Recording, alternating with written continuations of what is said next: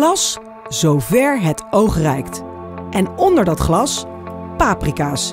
In alle soorten en maten. En in maar één kleur. Wij hebben hier eh, alleen oranje paprika's, maar er zijn rode, er zijn groene en er zijn gele. Al die kassen verwarmen, dat vreet natuurlijk energie. In Lansingerland proberen ze daar wat aan te doen. Tuinbouwcluster Bergshoek is een uh, samenwerkingsverband van uh, vijf uh, zelfstandige bedrijven die een gezamenlijke energievoorziening hebben opgezet. Come fly with me, let's fly, let's fly away. Kijk ze staan, wat zijn ze braaf. Volwassen mannen met speelgoed. Het blijft vertederend. Maak je veel vlieguren? Het is verslavend, leuk verslavend. Ik moet eerlijk zeggen, ik ben er soms 24 uur mee bezig. Hè? Ja, niet echt constant bezig in die zin dat ik bezig ben, maar met denken aan een ontwerp, denken aan hoe gaan we dat doen, denken aan het volgende vliegtuig wat je bouwt, denken aan ga ik het van hout doen of ga ik het van koolstof doen. Er zijn modellen die gaan heel uh, zuinig om met de spanning van de accu's. En ja, die, die kunnen soms wel eens 10, 15, 20 minuten vliegen. Het model wat ik hier heb, dat levert zoveel vermogen. En daar zit er niet zo'n grote accu in. Dus dan is het met, uh, met een minuut of drie is die wel leeg. Over land van glas gesproken. Deze pracht telen we gewoon hier in Lansingerland.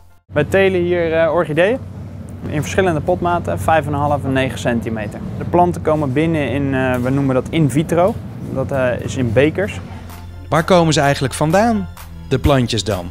Onze meeste planten komen vanuit Azië, met name uit Taiwan. wat ik daar doe is soorten scouten. Uh, ik ben continu op zoek naar nieuwe en betere soorten. En daar worden heel veel planten worden veredeld. En het veredelen dat gebeurt uh, eigenlijk door uh, de bloemen met elkaar te kruisen. wij noemen dat ook wel breeding. Dat gebeurt eigenlijk door heel veel verschillende soorten samen met elkaar te kruisen. En vanuit daaruit komen nieuwe soorten. Nieuwe soorten die worden getest. En vanuit daaruit komen uiteindelijk de meristeenplanten en de ja, wij noemen dat dan de broodsoorten, de economische soorten die we op aantallen kweken. Brr, winter. Kou en kans op gladde wegen. Tien strooiwagens houden de wegen in Lansingerland begaanbaar. Voordat het glad gaan worden, uh, preventief te strooien. Ja, dan voorkom je natuurlijk een hoop ellende, want als we te laat zijn, ja, hebben we er zelf ook last van, maar ook de weggebruikers natuurlijk. Ja, dat is niet de bedoeling. We kijken goed van tevoren het weer, de voorspellingen. Uh, spelen we op in en proberen we meestal een beetje uh, voor de spits te, te, rijden. En anders na de spits, afhankelijk van het weer natuurlijk, want als het deze gesneden we moeten er natuurlijk vanzelfsprekend uit. Op een strooiavond gaat er zo'n 10 ton doorheen. Dat zijn aardig wat potjes keukenzout. Is het eigenlijk gewoon zout? Het is een samenstelling, het is niets bijzonders. Uh, soms zit er een kleurtje in en dan wordt het een beetje roze, dan is het een ander kleurtje. Dan denken ze mensen van hé, hey, het valt op. Maar in principe, ja, het is gewoon zout wat er in overvloed is wat dat betreft. En het is niet iets speciaals uh, gemixt met, uh, met andere soorten of zo. Vroeg op pad voor het zogenaamde preventief strooien. Met dit kastje bedienen we de strooiinstallatie uh, die achter op de auto staat.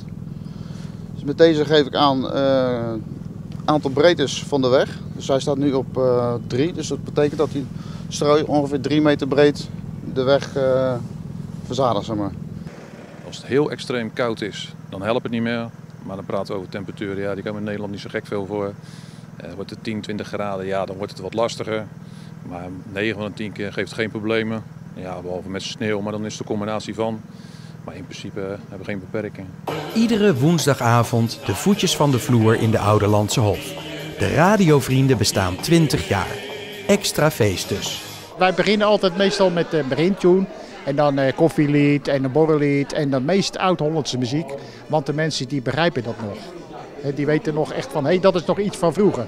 En dat is leuk om te doen.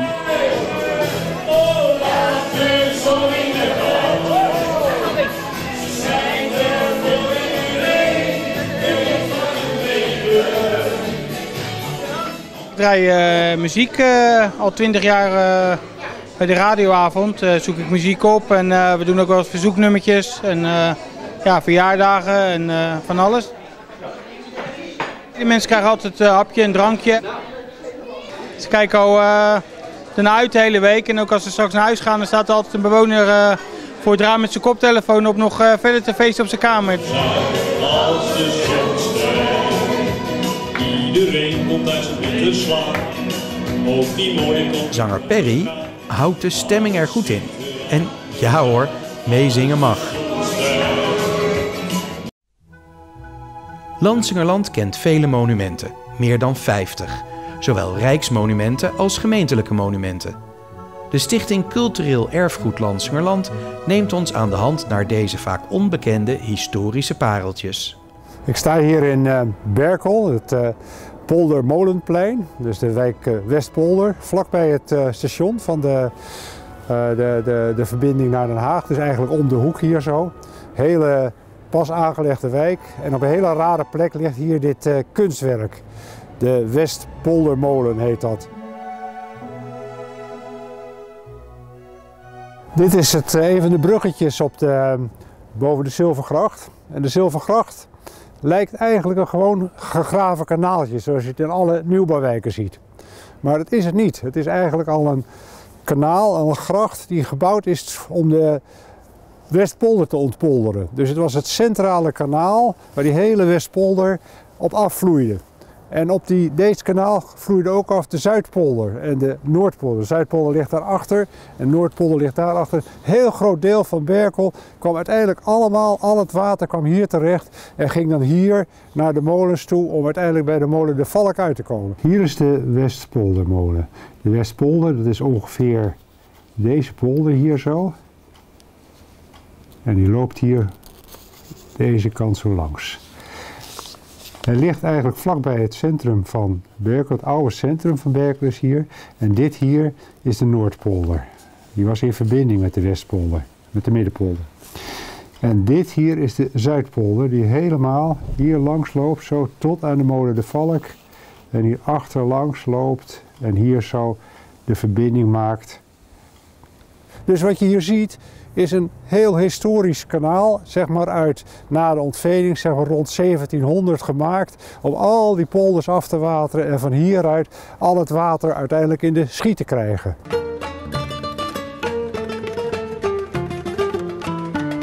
Het heeft even geduurd, maar na vijf jaar bouwactiviteiten opende de nieuwe El Fat moskee haar poorten.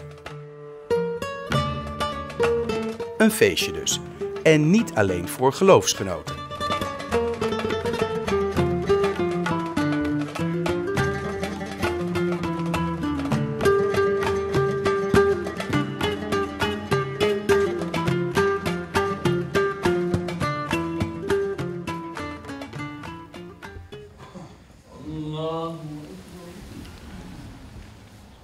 Wij zijn hier uh, in uh, Bergse Hoek. We hebben vandaag uh, een feestelijke opening van ons nieuwe moskee. De burgemeester zelf verrichtte de openingshandeling, het traditionele lint. Na al die jaren van noodgebouwen een heel belangrijk moment.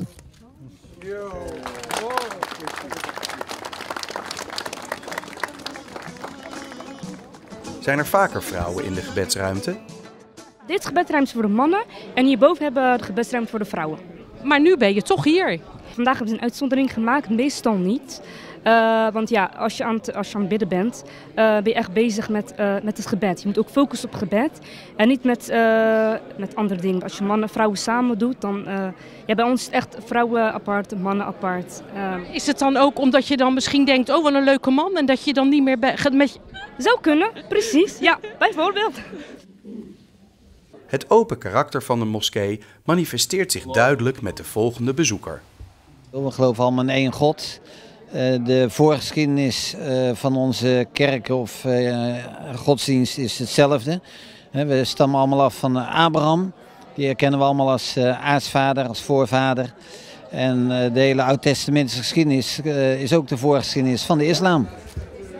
Islam betekent al vrede, we kennen dat in uh, het Joodse geloof ook, shalom. Hè? En natuurlijk, uh, Jezus bad ook om vrede op het laatste avondmaal. Dus uh, ja, dat is al een heel groot raakvlak. Dat we allemaal streven naar vrede en harmonie in de wereld. En elkaar zien als kinderen van God. Met die bankroof heb ik niks te maken. Maakt dat de kat wijs? Een bond gezelschap. Zo mag je de toneelspelers van het voetlicht wel noemen enthousiaste amateurs die er met hart en ziel voor gaan. De repetities zijn in volle gang. Het heet doktertje spelen. Iedereen heeft zijn eigen reden om een stukje toneel te spelen. En eh, de een ziet het als een uitlaatklep en de andere die ziet het als gewoon van ja, maar ik wil carrière maken. Eh, Zo in de loop van de jaren hebben we eigenlijk al ja, heel veel eh, mensen blij gemaakt met eh, toneel. U bent verkeerd verbonden. Zo. En nu was het zo de weg hier. Ik ben eigenlijk een eh, inbreker die achterna gezeten wordt. En ik vlucht ergens een gebouw binnen. En op, in dat gebouw vind ik dus eh, deze witte jas. En ik denk, nou die trek ik dan maar aan. En, En voel je je thuis in deze rol? ja, dat is, eh, dat, is, dat is op mijn lijf geschreven. Ja, echt. Het zijn niet alleen de acteurs en de regisseurs die een belangrijke rol spelen. Denk aan het decor, de kostuums en het licht. En natuurlijk de souffleuse. En die souffleuse die zegt eigenlijk even voor wat er in het boekje staat. En dan, oh ja, dat moest ik zeggen. Ja. En dan weet je het weer, heb je het geheugensteuntje gehad. Maar op de uitvoering zelf, ja, dan is er geen souffleur of souffleuse. Jij hoort nog van mij! Voordat je opgaat, dan voel je echt die, die spanning in je keel. En dan kom je op en dan, ja, als het goed is, valt dan alles van je af. En dan ga je gewoon heerlijk spelen. En dan, de kick is eigenlijk het laatste woord. En als je afgaat, dat je denkt van yes, we hebben het gedaan. We hebben een leuk stuk neergezet. Ja, en als de mensen dan lachen, ja, daar word je zo blij van. Dat is zo leuk. glaasje water en dat zetten ze op dat nachtkastje. De hilarische momenten tijdens de voorstelling zorgden ervoor dat het publiek niet meer bijkwam. Maar gelukkig was er een dokter in de zaal. Wat gebeurt er? Mijn rug! Doe dan je, doe dan je armen naar beneden. Dat niet! Wie? Ik weet het niet hoor.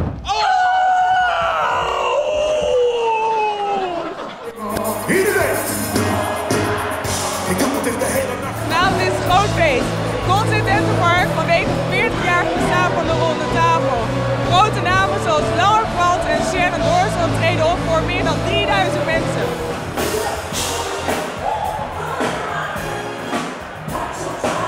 Ons clubje bestaat eh, 40 jaar dit jaar, dus we hadden het idee om het een keer over een andere boeg te gooien.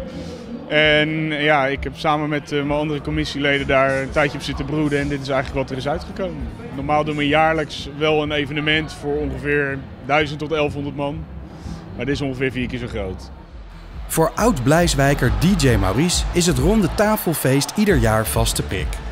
Eigenlijk jaarlijks op het feest van de ronde tafel. En eh, dit jaar mogen we weer bij zijn op de grote editie. Dus eh, van tevoren voor de VIP's en nu lekker steeds tussen de artiesten door. Het is zeker een gezellig biertje, muziekje erbij. Wat wil je anders? Welke artiest vinden jullie nou het beste tot nu toe? Ronnie Tober. Ronnie Tober! ja, die! Nog steeds dat hij komt. Vorig jaar natuurlijk een foodtruck festival, nu dit. Dus eh, hopen dat het terugkomt.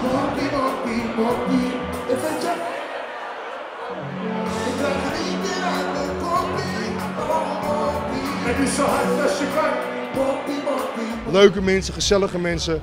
En je voelde dat iedereen er zin in had. Iedereen kwam voor een feestje en eh, we hebben geprobeerd eh, een duit in het zakje van de feestvreugde te doen. Ik vind het een superleuke sfeer hier, dus eh, ik verwacht een leuk eh, feestje. En nou zag ik twee hele mooie dames op het podium. Heb jij die meegenomen? Ja, is mijn zus. We zijn al een jaar met de voorbereiding bezig geweest. En nu al eh, twee weken operationeel bezig. En eh, als je dan dit ziet, hoe die erbij staat, ja, dat is wel gaaf. Met een kippenvel momentje. Ja. Just an ordinary day at the office. Of toch niet? We zijn op Poortswerk. Poortswerk in Berkel en Roderijs is een onderdeel van Midin. En Midin is een grote organisatie.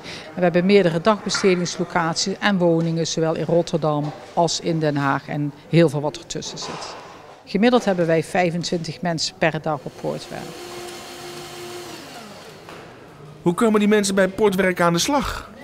Dat kan op verschillende wijzes. Eh, je hebt eh, ofwel WLZ, dat staat voor Wet Langdurige Zorg. Veel mensen binnen ons eh, die hier wonen, die vallen onder de WLZ. Dus daar wordt er gekeken naar een goede werkplek voor ze. Maar het kan ook via de gemeente, via de WMO. Het, al, het allerleukste van Poortwerk? De bloemkaartjes. Er zijn hier verschillende soorten werkzaamheden, eh, productiewerkzaamheden. Eh, dan kunt u denken aan bloemkaartjes eh, in elkaar zetten, verschillende kopkaartjes nieten, assemblagewerkzaamheden. En ook wel houtwerkzaamheden, verfwerkzaamheden en archiefvernietiging. Nou, dan gaan we hier naar werkplaats uh, 1. Hier, hier wordt productiewerk gedaan. Zoals hier zie je dan bloemkaartjes worden gestoken. Hier worden zoombandjes geregeld. Hier hebben we het, uh, het houtbewerkingswerkplaatsen uh, zo. Hier staat uh, Sifai, hoe heet die dingen? Dit zijn sponsjes. Uh, sponsjes aan het snijden met, met de snijmachine. Vroeger was er echt mensen bezighouden, maar dat is al lang niet meer. Onze mensen komen hier echt werken en wij zorgen er ook voor dat er werk voor ze is, waarvan ze na afloop van de dag zeggen van ja, wij hebben echt zinvol, heerlijk gewerkt. Kijk je dan, is dat groot genoeg?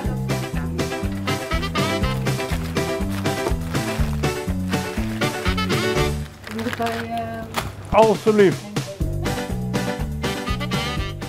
Henk de Rooij, Bergshoek geboren.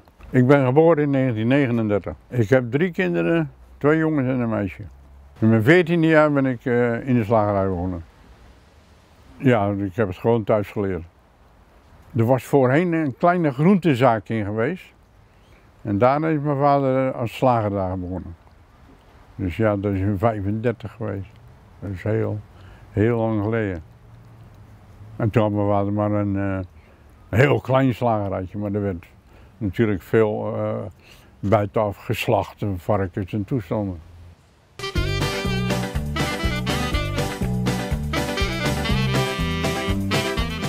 Nou ja, alles eigenlijk. Uh, van uh, slavinkie maken tot carbonade hakken en rollade maken en balletjes gehakt.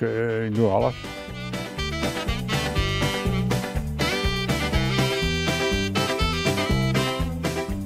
Varkens door de midden. Dus van één halve kant is dat, uh, dus dat is ook weer zo. En dan zit hier die carbonade. Dus je kan alles laten bezorgen natuurlijk. En dat deden wij vroeger ook. Dus ik had een brommer en er stond een grote mand achterop. En dan reed ik tot aan de kleiweg toe. En ik had daar ook nog een beetje klanten. Met maandags opgeschreven en donderdags ging ik dat allemaal vragen wat ze hebben. Stond ik aan de deur, de zoveel boterham, zoveel dit, zoveel dat. Nou, dan, dan, dan vrijdag zit er bezorgd. Met een, net als nou ook weer overal bezorgd wordt.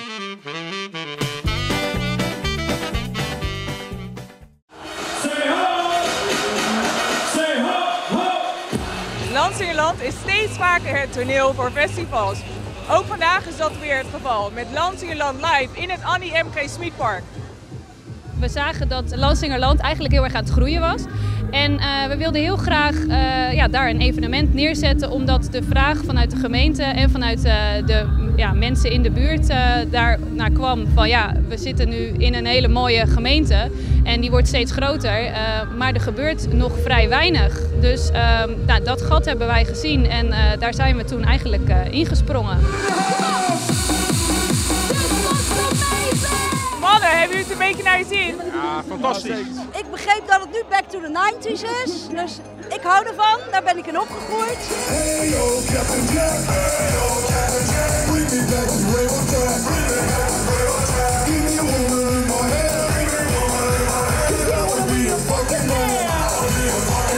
We got lucky actually here. It was our start was in, in the Netherlands, Yes. which is really good. Yes.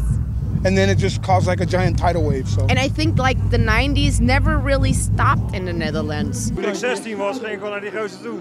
De energie al. Ja, heel lang geleden. Leuk publiek. Ik zie gewoon de gezichten naar het podium toe. Niet dat ze met de rug er naartoe gaan staan, maar ze komen ook echt hiervoor. Dat vind ik leuk. Ja. Lansingerland is dé nieuwe plek voor feestjes, parties en festivals. En als het met de 90s lukt, laat de rest maar komen. Make some noise for the Banga Boys.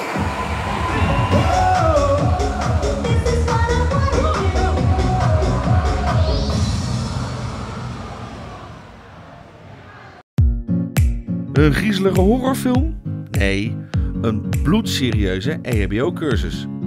In 14 avonden leer je van alles over levensreddende handelingen. Stabiele zijligging, reanimatie, verslikking, Uh, ernstige bloeding, die vallen onder levensreddende handelingen. Uh, wat te doen als slachtoffer bewusteloos en braakneigingen krijgt en op de rug ligt, dan moet hij zo snel mogelijk gekanteld worden, want anders stikt hij. Onder deskundige begeleiding krijgen de cursisten te horen hoe ze de problemen het hoofd moeten bieden. Met praktijkvoorbeelden. Het is een leuke feestdag geweest, Koningsdag, s'avonds, iedereen moe. Uh, misschien sommigen te veel gedronken. Tja, te diep in het glaasje gekeken. Daar is meer voor nodig dan zwarte koffie. Of zou het toch iets anders zijn? Zolang je niet tegen me praat, gaat het goed. Dan, uh, dan, dan ben ik altijd wel tevreden. Als je maar blijven praten. Dus blijf praten, Karel. Ja. Blijf praten tegen me. Wat is er met u gebeurd? Hoe is dat? Dan kan ik wel zeggen dat het heel heftig is. En op het moment zelf ga je handelen en ga je je best doen. Maar zodra het afgelopen is, dan ben je eigenlijk helemaal leeg en stort je echt in. Het is dus zaak om bij de tijd te blijven. Diploma is dan wel twee jaar geldig, maar ieder jaar moet gewoon getraind worden. Wil je ook een cursus volgen? Check dan de website.